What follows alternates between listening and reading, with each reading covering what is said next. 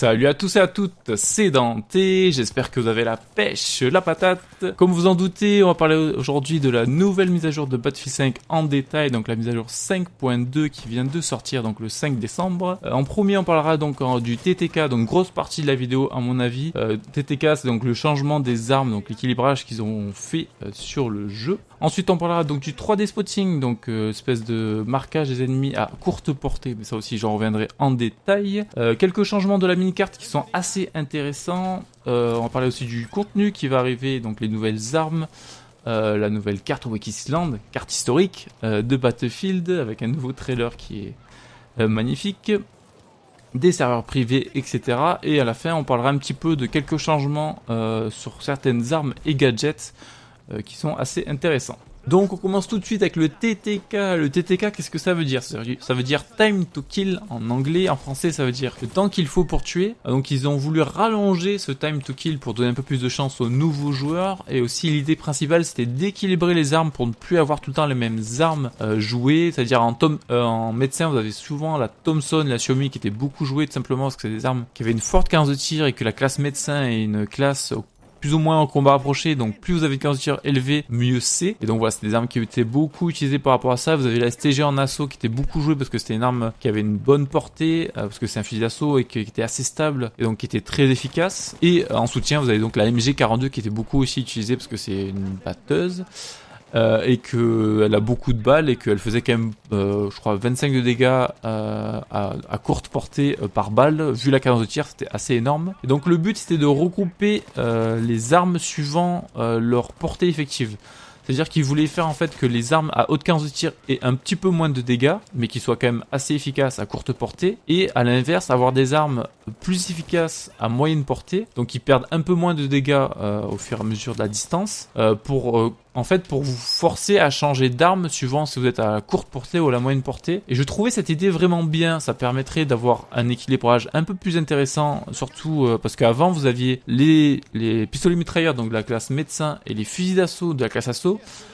Quasiment tous avaient la même, euh, tous les, quasiment tous les pistolets mitrailleurs avec les mêmes dégâts suivant la distance, sauf le type 100 qui est assez récent, qui est arrivé avec le Pacifique. Et euh, pareil pour les fusils d'assaut, vous aviez quasiment euh, les mêmes dégâts pour tous les fusils d'assaut sauf la Breda, qui est aussi arrivé avec le sentier de guerre un petit peu avant le Pacifique. Et voilà, c'était pas très équilibré, donc c'était en gros, ça se jouait beaucoup suivant la cadence de tir, suivant comment vous jouez, suivant, le, suivant le recul également. Donc voilà, c'était vraiment, c'était vraiment dommage et je trouvais que cette, cette euh, façon de changer un peu et d'équilibrer, ça aurait pu être vraiment une super idée. J'aimais beaucoup ça. Le problème, c'est que ça n'a pas été très bien fait. Je vais vous donner un, un petit exemple. Donc vous avez la map 38 euh, qui est donc une euh, donc il n'y a pas que celle-là mais la map 38 euh, c'est un très bon exemple. Donc au dé... avant la mise à jour vous aviez donc 25 de dégâts par balle jusqu'à 20 mètres et ensuite ça descendait à 13 de dégâts à partir de 75 mètres. Donc ça c'était tout, quasiment toutes les armes de médecin qui avaient ça. Maintenant vous avez donc 20 de dégâts de dégâts par balle jusqu'à 30 mètres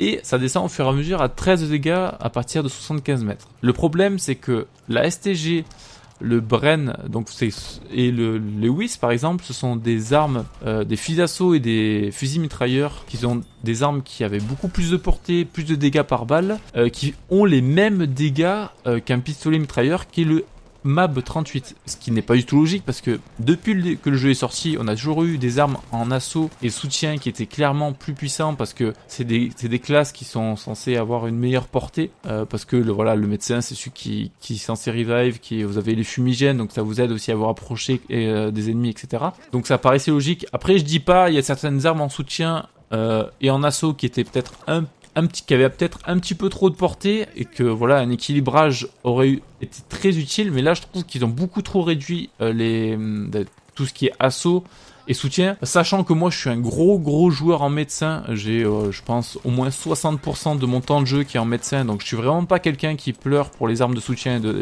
et d'assaut. Hein. J'ai fait de très bonnes parties en médecin, d'ailleurs les médecins et les snipes sont les deux classes qui sont gagnants avec cette mise à jour, parce que quand vous êtes médecin vous pouvez quasiment tout le temps vous soigner, euh, vous avez des armes qui n'ont pas tant perdu de dégâts que ça au final, parce que c'est des armes qui ont quand même une, euh, une bonne cadence de tir au combat rapproché, c'est quand même une classe qui est, qui est, très bonne. Vous avez les fumigènes pour vous rapprocher un max du combat, donc vu que vous avez des armes qui n'ont pas trop perdu au combat, euh, on va dire jusqu'à 20-25 mètres, donc c'est c'est quand même tout bon pour vous. Euh, vous avez les carabines de médecin qui n'ont pas bougé, euh, qui restent très excellentes pour la moyenne portée. Et vu que vous pouvez tout le temps vous soigner, ben, vous prenez moins de dégâts parce que le TTK, a été rallongé, que les autres armes ont perdu des dégâts. Donc le médecin est vraiment le roi maintenant. le snipe aussi parce que ils n'ont pas touché au snipe déjà. Euh, donc ce qui fait que vous pouvez, ça, ça ne change rien à votre euh, façon de jouer. Euh, vous prenez moins de dégâts parce que le TTK a été rallongé, donc vous avez plus de chances de survie. Donc voilà, le médecin et le snipe sont vraiment gagnants cette mise à jour. C'est vraiment les armes de soutien et d'assaut qui ont perdu pas mal de dégâts. Alors je dis pas que avant, par exemple, toutes les armes de soutien sauf la Madsen avaient, donc les dégâts commençaient à 25 et tombaient à 19. Donc vous n'avez pas beaucoup de pertes de dégâts. Donc je trouve que c'est qu'ils auraient pu baisser un petit peu les dégâts, mais pas autant qu'ils ont fait maintenant. vous prenez le le M1907 SF par exemple, euh, il commence à 22 dégâts et il descend à 8 de dégâts. Donc vous faites 22 dégâts jusqu'à 10 ou 15 mètres et ça descend à 8. Euh, donc ce qui est, vraiment ridicule. En plus que 20 balles. Et le problème avec cette arme, c'est que c'était une arme euh, qui demandait quand même de savoir viser parce que vous avez quand même une bonne cadence de tir et vous avez quand même un recul et une dispersion plus importante que sur les autres fusils d'assaut. Donc c'est vraiment une arme avec une bonne cadence et vous avez que 20 balles donc fallait vraiment pas se louper. Et là, vous tombez vraiment à des dégâts qui sont euh, dérisoires pour un fusil d'assaut. Donc voilà, je trouve qu'il y a des armes qui n'ont pas été très bien équilibrées, qui sont maintenant presque injouables. Euh, donc je vais pas rentrer dans tous les détails. Je pense que je ferai une vidéo pour expliquer un peu tous les changements sur toutes les armes et suivant toutes les classes pour vous donner un maximum de conseils, d'astuces, quelles armes sont les meilleures maintenant pour euh, suivant votre façon de jouer, suivant votre classe. Donc ça, c'est quelque chose que je réfléchis, que je ferai sûrement. Mais en tout cas, le TTK maintenant, au début, j'ai joué en médecin comme d'habitude. Je me suis dit, bon, ça va, ils n'ont pas tant changé que ça. Mais quand on regarde, euh, je vais vous montrer quelques graphiques que vous avez pu voir euh, pendant que je parlais sur les armes là. Euh, vous verrez la différence entre avant et après, c'est vraiment dément quoi. Donc au niveau du spotting, on va laisser le TTK tranquille. Alors ils ont intégré un système de, de spotting 3D individuel, ça j'insiste. C'est-à-dire que ce que vous voyez, les ennemis que vous voyez avec un petit euh, carré au-dessus de, de, leur tête en fait c'est quand les, ennemis euh, sont dans votre champ de vision jusqu'à 15 mètres ils sont ils ont, vous voyez leur barre de vie et vous avez un petit carré rouge ce qui vous permet de les voir euh, dans votre champ de vision. Donc c'est pas à travers les fumigènes et pas à travers les murs, hein, je précise.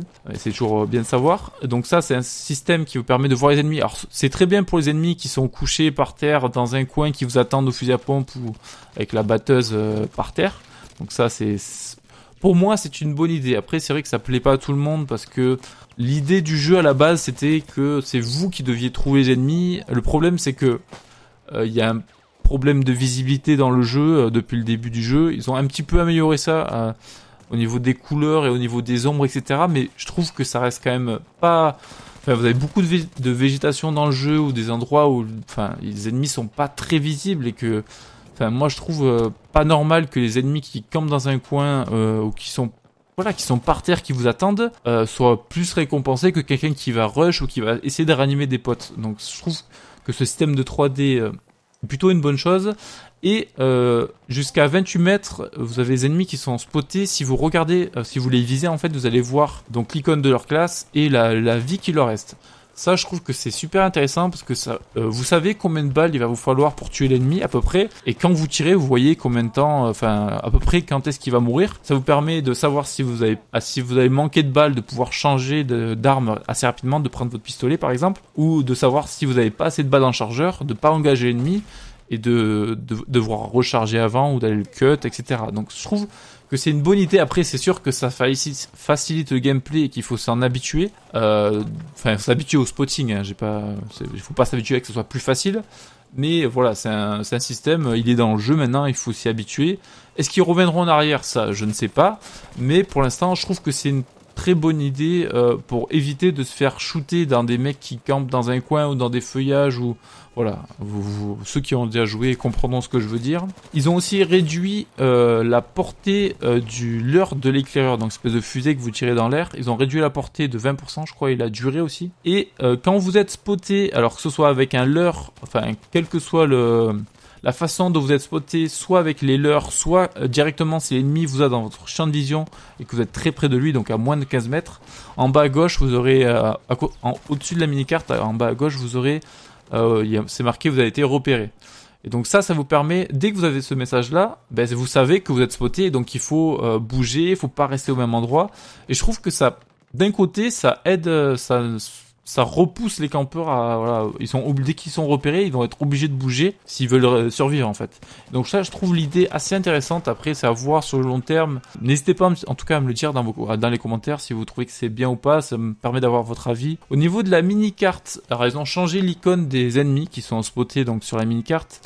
Euh, non, c'est des formes de flèches, ça permet de savoir euh, dans quelle direction on regarde les ennemis, et ça je trouve que c'est plutôt cool. Euh, surtout quand vous êtes dans des modes de jeu comme percer ou des modes objectifs, ça permet de voir si vous, quand vous contournez des ennemis, ça vous permet s'ils sont spotés, donc avec un leurre ou autre, ça vous permet de voir si euh, bah, s'ils regardent dans votre direction, et si s'ils ne regardent pas dans votre direction, bah, vous pouvez euh, faire des gros kills, et ça vous je pense que niveau des de, niveau information, c'est vraiment pas mal. Les ennemis qui sont au-dessus de vous, par exemple, si vous sont en haut de l'escalier ou en haut d'un bâtiment, euh, l'icône est plus grosse. Et à l'inverse, si l'ennemi est en dessous de vous, l'icône est un petit peu plus petite. Donc ça, je pense, ça être, vous, vous, pouvez le paramétrer dans les options, mais ça, ça vous donne une, vraiment une bonne idée. Avant, vous aviez une espèce de rond euh, et que c'était vide au milieu, c'est-à-dire que l'ennemi n'était pas à votre niveau. Mais là, vous savez s'il est en dessous ou au-dessus. Donc ça, c'est plutôt cool. Euh, il n'y a donc il y a plus cette icône en, forme de rond qui était pas très intéressante. Donc euh, ça, je pense que ces changements sur la mini-carte sont vraiment très bienvenus. Et il y a plusieurs changements, vous verrez quand vous jouerez. Au niveau de l'interface qui sont plutôt cool, c'est plus agréable, c'est plus agréable, plus lisible en tout cas je trouve. Donc ça c'est une bonne, un bon changement avec cette mise à jour. Au niveau du contenu, on va en parler brièvement parce qu'ils ont sorti un trailer euh, aujourd'hui donc sur la carte Wakisland, carte historique euh, de Battlefield, de Battlefield de façon générale. Donc moi j'ai vraiment hâte de vous la montrer. Euh, de face, enfin c'est vraiment une carte que j'ai adorée sur Battlefield 2, euh, sur euh, Battlefield 3, etc. Avec le DLC Bateau Carcan. Donc j'ai vraiment hâte euh, de vous, montrer ça en véhicule, etc. Donc ça c'est quelque chose que je suis vraiment impatient. Donc elle arrive le 12 décembre. Donc ça c'est la semaine prochaine, donc c'est très, ça va être très rapide. Les serveurs privés arrivent le 9 décembre sur Battlefield 5. Euh, vraiment hâte de vous montrer ça. Ce sera donc le sujet de la prochaine vidéo. Je vous montrerai un petit peu les détails des serveurs privés, ce que vous pourrez faire et ce que vous ne pourrez pas faire. Au niveau des armes, on a eu quatre nouvelles armes qui sont arrivées avec cette mise à jour qu'on pourra débloquer via le sentier de guerre. On aura donc l'emblématique bar 1918 A2 qui est donc un fusil mitrailleur qui sera dans la, classe médecin. On aura le M3 Gris Gun, qui est un pistolet mitrailleur de la classe médic, euh, côté américain. Côté japonais, on aura deux armes. Le Nambu type 2A, qui est aussi un pistolet mitrailleur euh, de l'Empire japonais. Et le type 97 MG qui sera donc une arme de soutien j'imagine qui sera soit un fusil mitrailleur soit une mitrailleuse lourde. Alors petite déception moi qui attendais le Sprintfield euh, qui est donc un snipe emblématique de la seconde guerre mondiale à moins que ça sorte un petit peu après. Euh, mais en tout cas voilà quatre nouvelles armes. Alors deux armes de médecin et deux armes de soutien apparemment. Alors j'ai pas les détails euh, ça n'a pas été vraiment très montré mais en tout cas ils ont donné ces quatre noms. Euh, donc vraiment hâte de vous montrer ça via les arsenals de Dante bien sûr, mais en tout cas on aura le bar dès la semaine prochaine à débloquer. Donc ça c'est plutôt cool. Au niveau des équilibrages des armes et des gadgets, donc ils ont rajouté le fameux bruit quand on tuait quelqu'un sur Battlefield 1. Euh, je trouve qu'il collait bien à l'ambiance de Battlefield 1. Après sur BF5 je suis pas spécialement fan, mais bon, c'est une petite chose qui a été rajoutée. Au niveau de l'équilibrage du Fliegerfoss, donc ce lance-roquette anti-aérien, les projectiles vont deux fois plus loin qu'auparavant, mais ont réduit le rayon d'explosion des roquettes, euh, ce qui demandera beaucoup plus d'anticipation et de précision pour pouvoir dégommer les avions, ce qui rendra l'arme un peu plus intéressante à jouer. Le M1 Garand, ils ont rajouté une baïonnette dans la spécialisation, donc il va falloir je le marque dans la vidéo. Le fameux bruit euh, iconique donc du M1 Garand quand on recharge est maintenant entendu euh, par tout le monde. Donc voilà, si vous êtes en train de recharger et que l'ennemi l'a entendu, il y aura de grandes chances qu'il va essayer de vous tuer, donc voilà, vraiment faire gaffe par rapport à ça. Et ils ont rajouté un viseur x2 qui n'était pas disponible sur cette arme-là, bizarrement. Ils ont corrigé plusieurs bugs sur le lance-flamme qui l'empêchaient de faire les dégâts escomptés. Euh, donc si vous le trouvez un peu plus violent qu'avant, c'est normal. Amélioration du comportement de la dynamite et de la grenade collante. Euh, en fait, c'est des gadgets qui avaient tendance à se coller à certaines parois dont on ne voulait pas. Donc ça, ça a été corrigé. Les minapés maintenant ont deux câbles euh, qui les rendent plus visibles. Et par exemple, si vous avez un câble qui est collé, euh, qui est relié en fait à une paroi comme une porte, si vous ouvrez la porte, la minapé explose. Donc ça, c'est assez vicieux. réduit le bruit des alliés comparé aux ceux des ennemis. Ça, c'est intéressant parce que le nombre de fois où on se retourne, qu'on entend des pas et qu'on croit que c'est un ennemi, en fait, c'est un allié. Les joueurs morts après une réanimation peuvent de nouveau se faire animer. C'est-à-dire qu'on peut vous réanimer deux fois de suite si vous mourrez après votre première animation. Le nombre de fois où vous avez des médics qui réaniment sans regarder ou que vous avez des ennemis qui vous tuent juste après pour vous faire un kill de plus. Donc voilà, ça c'est le côté euh, sympa. Amélioration des éliminations aux armes de mêlée, donc tout ce qui est couteau, etc. Euh, avant, on avait, euh, on avait une animation de dos qui avait tendance à bugger, maintenant ce n'est plus trop le cas, donc ça c'est intéressant, même s'il faut voir sur la durée si c'est vraiment réglé ou pas. Au niveau des véhicules, ils ont équilibré les dégâts des roquettes et des canons des avions, suivant si vous attaquez une cible au sol ou si vous attaquez des avions.